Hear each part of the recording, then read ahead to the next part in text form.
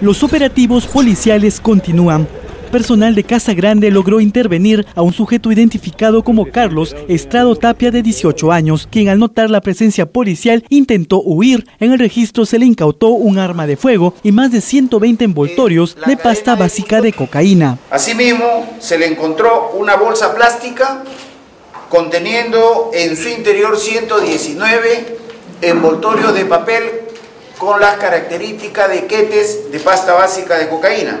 Esto ubicado en el bolsillo posterior derecho de la bermuda jean que, con la que estaba vestido. En tanto, en las inmediaciones del pasaje al Barracín, el personal del Escuadrón Verde detuvo a Franklin Lizárraga, de 27 años, a quien se le incautó un revólver abastecido. Asimismo, en Víctor Larco, se pudo intervenir a dos sujetos quienes comercializaban con droga. Uno es identificado como Francis Oleses, de 42 años, y la otra es Olga Macla, de 58 años. A la altura de la manzana D de la urbanización Liberación Social, en donde se intervino a dos personas mayores de edad, la misma que a la primera de ellas se le encontró en una bolsa plástica dos sequetes y a la segunda, que es una fémina, se le encontró una bolsa transparente conteniendo 33 quetes de pasta básica de cocaína. En total, dos armas incautadas y más de 300 envoltorios de PVC. El trabajo policial continúa.